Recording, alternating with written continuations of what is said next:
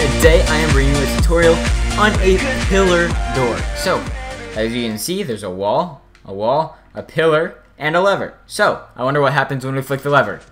Oh, there's a staircase down. Oh, fabulous.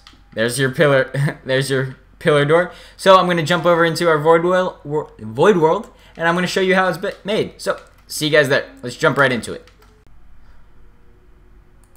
Alrighty guys, so we're in the void world and we got our wall, our pillar, another wall, and a floor. So on the wall, you want to cut out a two block space right here and you want to have a staircase. And underneath the pillar, you want a one block gap just like that.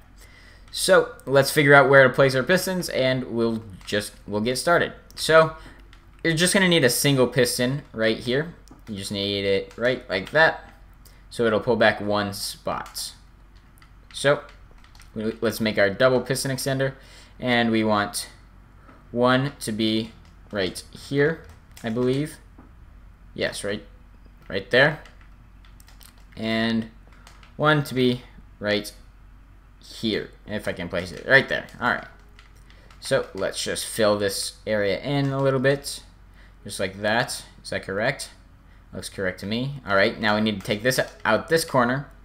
And let's place our uh, our redstone repeaters. So set that one to 2, set this one to 4, put redstone, redstone, redstone, redstone, kind of in an L shape, connecting repeaters, and one going into uh, this imaginary block right here.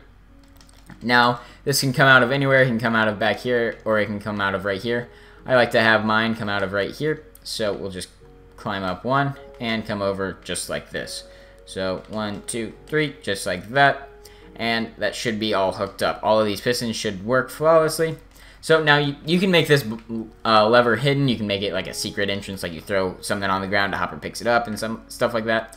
But I'm just going to use a lever just just so I don't go into too much detail and confuse like you guys all. Or all of you guys. There we go. And so that's connected to the lever. And if we click this, that extended these because it wasn't on earlier. So now if we click it again, we should be able to walk down it. Just like that.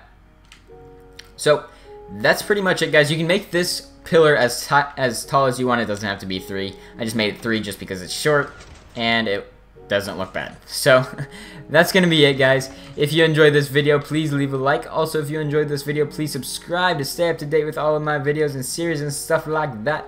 And I'll see you guys in the next video.